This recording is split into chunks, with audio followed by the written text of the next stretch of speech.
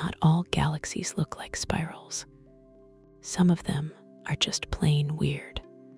There's the Sombrero Galaxy, with a huge bulging core and a dark dust lane that makes it look like a giant space hat.